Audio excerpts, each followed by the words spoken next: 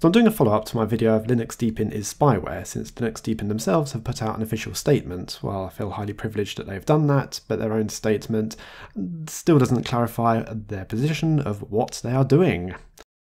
As of version 15.5, it communicates unencrypted to a Chinese tracker CNZZ, and this occurs automatically approximately 20 minutes after the system boots up and is carried out via the App Store. So I would like to point out this is my first accusation against Linux Deepin being spyware because at version 15.3 and 15.4 it was spyware free as far as I could tell and I made a video as such. So Linux Deepin's statement. Recently there is a saying that Linux Deepin is spyware. The logic is that Deepin has CNZZ links within its website and App Store. Actually I didn't specify a website, but since we're here, we can actually double check that. And yes, it does. I don't really care about the website because I have a choice whether to connect to this or not. Anyway, and since CNZZ will collect some client information in the browser, thus Linux Deepin is spyware, it is really a serious problem since nobody wants to have his her private information leaked, as in the Facebook event.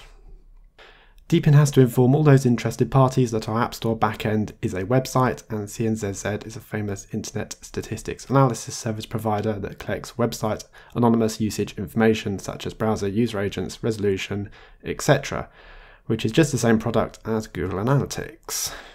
Yep, I didn't say anything different to this.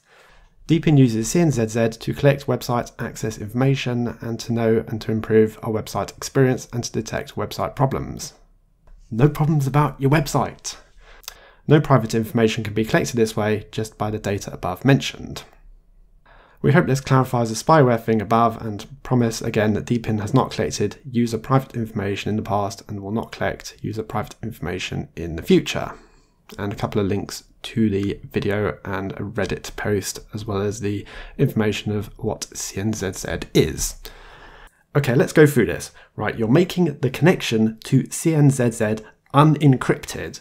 So anyone monitoring the traffic, say at a choke point through the Great Chinese Firewall, can see who exactly is using Linux Deepin. Because you have contained the tracking information as a parameter to the unique resource identifier, uh, effectively say this part after the question mark on the URL.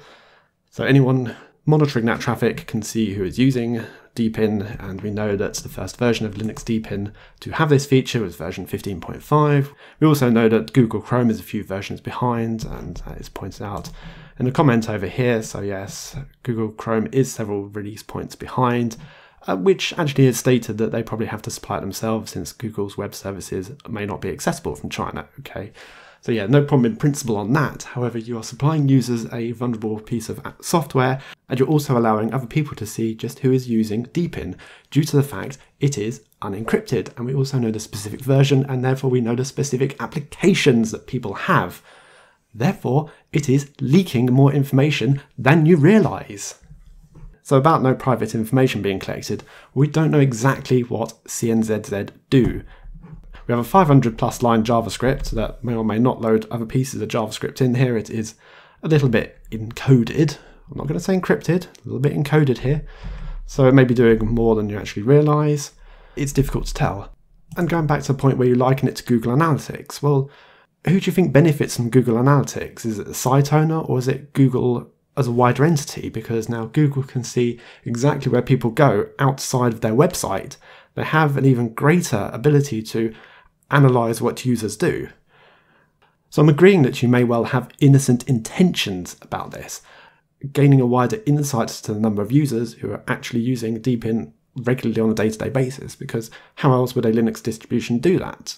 Download figures don't tell you anything much, and that is precisely what most Linux distributions deal with is download figures on maybe their positioning on DistroWatch. That's no indication about how many people are actually using the operating system.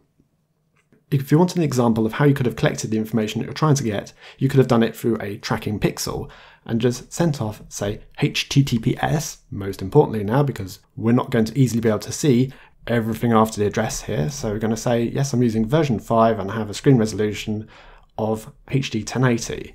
And what is returned from the website? This. It's nothing, it's just a one by one pixel. That would have been fine. If you had done that, then my previous video would never have been made, and I wouldn't be making this follow-up video either.